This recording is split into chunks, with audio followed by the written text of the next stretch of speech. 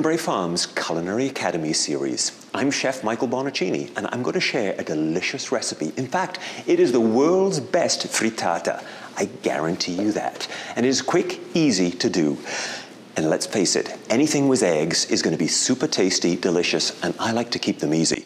So to start off my frittata, all I really do is start to sweat down some delicious ingredients. A splash of olive oil, and a little butter is the great way to kick off most savory recipes, especially when it comes down to cooking up a little onion, a touch of garlic,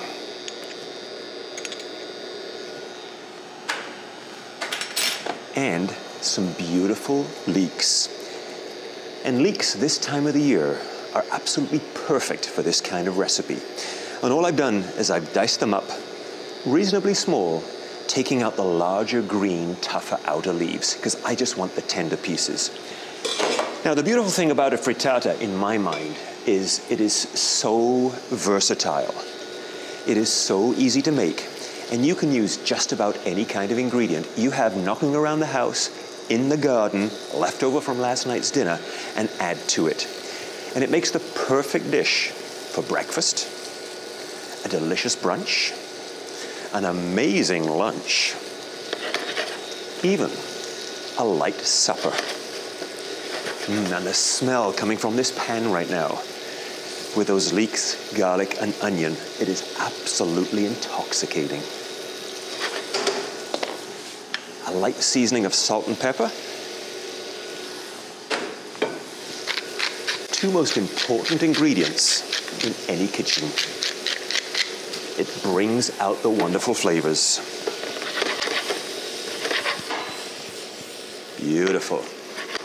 Now, eggs, such an important piece, as you know, to any frittata, and they are, in my opinion, the world's most unique ingredient. They are so good for you, so healthy, so quick and easy to use, and they are the cornerstone ingredient in any kitchen. We use them to enrichen, to lighten, to bind, to add depth of flavor, and to make amazing, shiny, glazy, and glossy pastries. Just crack four beautiful farm fresh eggs. You know, maybe five. I'm feeling a little generous today. Into a good bowl. A little whisk up. And a touch of seasoning.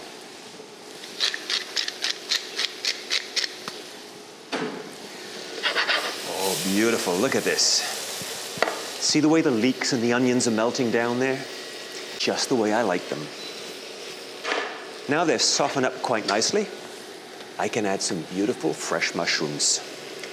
And once again, mushrooms, vegetables, just about any ingredient, whatever is seasonal. And the best way to find out what is seasonal? Go to your local farmer's market, go to your local high street store, or just wander around the fresh produce aisle. And those seasonal ingredients will certainly speak to you. Now, I've got a little bit of squash left over from last night's dinner. And hey, tomorrow it might be a little sweet potato or boiled potato. They are the perfect kind of ingredient to add color, taste, and texture to this amazing frittata. Just look at those beautiful colors. That is looking delicious. Now, just to lighten the eggs a touch, I like to throw in a splash of good milk. Nothing more than that. I've got some grated cheese. And I do love a good cheddar cheese, something that has a little bit of a nip to it. But you could use just about any cheese imaginable. Open up your refrigerator drawer. If you've got beautiful cheddar, use it. If you've got goat's cheese, go for it. If you have wonderful Gouda, perfect. Really, any cheese will do the job. The cheese is going to enrich and bind and add another layer of flavor. Now, I'm using a non-stick pan, and the reason why is it's going to guarantee that my frittata will slide right out super easy. But before we get to that point, in go the eggs.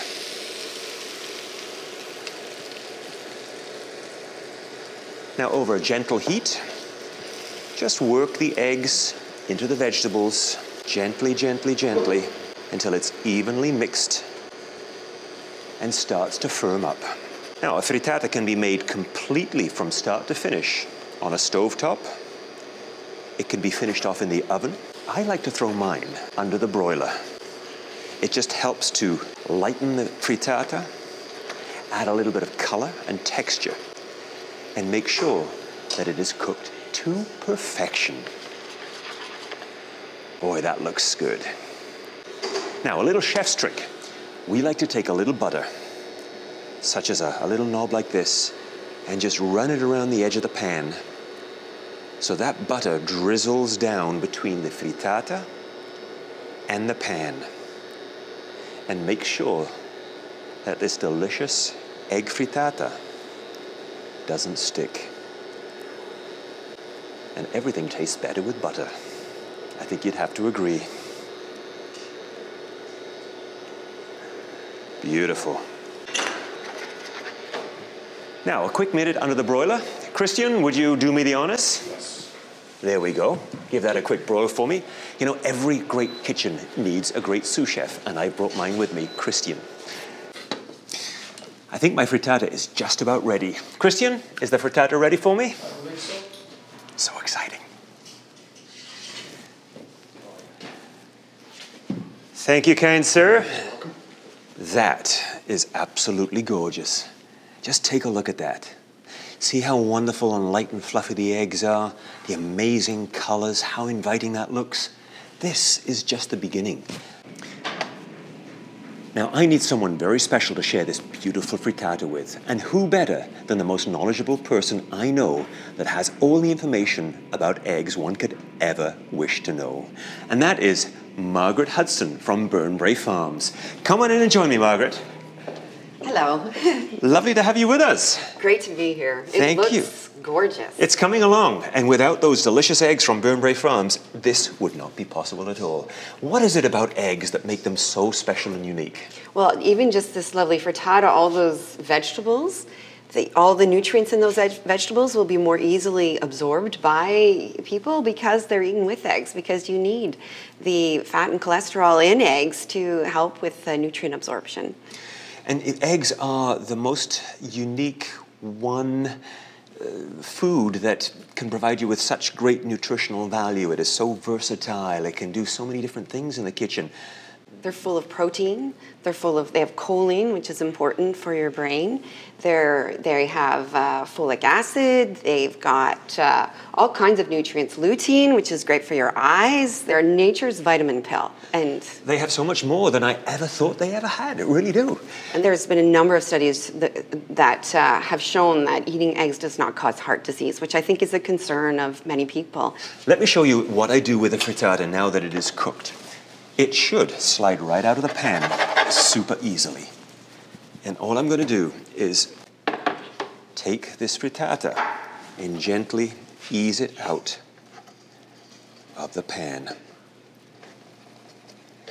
If the egg gods are kind to me, it will just come right out. Look at that. Beautiful. Beautiful. Now, what I like to do is I like to take a little bit of arugula just over the top. I like to take a little yogurt or even sour cream or maybe a little bit more cheese like goat cheese. And again, the garnishing of this delicious frittata, you can go to town. You can pull out the stops. You can impress people to no end. I'm adding a little smoked salmon. Looks gorgeous. Do you like a little smoked salmon? Yes. Wonderful.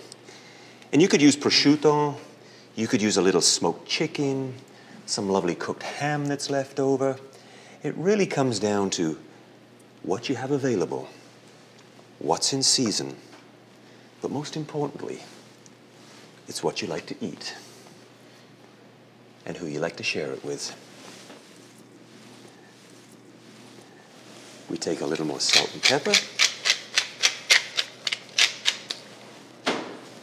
Just a drizzle of good olive oil. And there we have it. Look at that.